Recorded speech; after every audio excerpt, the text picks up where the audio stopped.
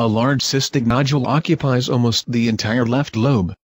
A thin solid, echonormal part of the nodule can be seen on the dorsal wall of the lesion. The presence of a halo is doubtful while the lesion presents signs of perinodular blood flow. Now we start with the first attempt of aspiration.